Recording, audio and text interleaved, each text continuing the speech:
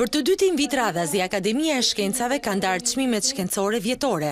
Me çmimin më të rëndësishëm Çabej, akademikët kanë vlerësuar fjalorin etimologjik të gjuhës shqipe të autorit Kolec Topalli, çmimin e të cilit e tërhoqi vajza e tij.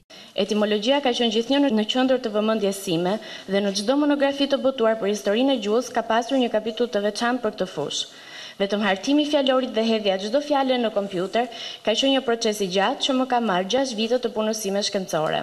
Me çmimin Radovicka u vlerësua punimi i përbashkët i autorëve Nazim Gruda dhe Andrea Shundi për botimin Hortikultura.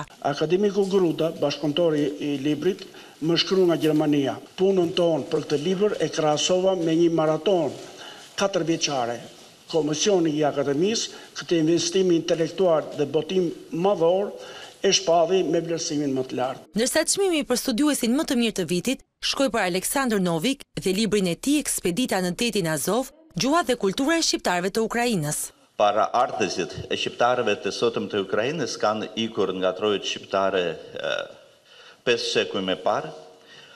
Por shqiptarët e sotëm të Ukrainës janë kthyer këtu në trojet shqiptare nëpërmjet monografisë sonë kolektive.